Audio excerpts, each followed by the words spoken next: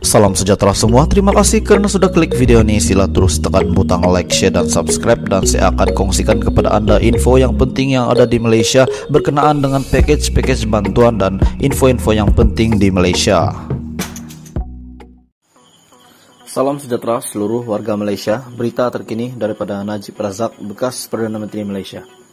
Sekiranya masih gagal membendung COVID selepas 45 hari PKP 3.0 dan 23 hari total lockdown, sekurang-kurangnya bantulah rakyat sekarang juga, jangan tunggu lagi. Akhir bulan menjelang, setiap rumah tangga perlu berdepan dengan banyak komitmen. Berkenaan dengan kenyataan daripada Dr. Ashraf Wajdi Dusuki, pertimbangkanlah lima tuntutan utama rakyat sebelum putuskan sambung PKP 3.0 total lockdown.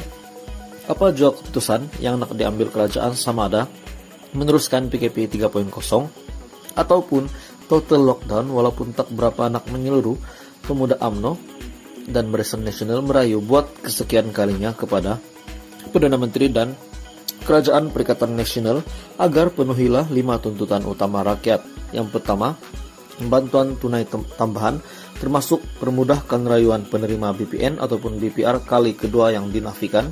Yang kedua, moratorium otomatik secara menyeluruh tanpa charge ataupun faedah tambahan melibatkan juga B40, M40 dan PKS.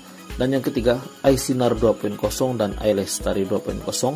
Yang keempat, diskon bill-bill utility dan yang kelima, kawalan harga barangan asas yang mencanak naik tuntutan rakyat, pemuda juru bicara rakyat, tradisi membela rakyat. Terima kasih karena sudah menonton video ini. Sila terus tekan butang like, share, dan subscribe. Dan saya akan terus memberikan info yang terbaik di video yang seterusnya. Terima kasih.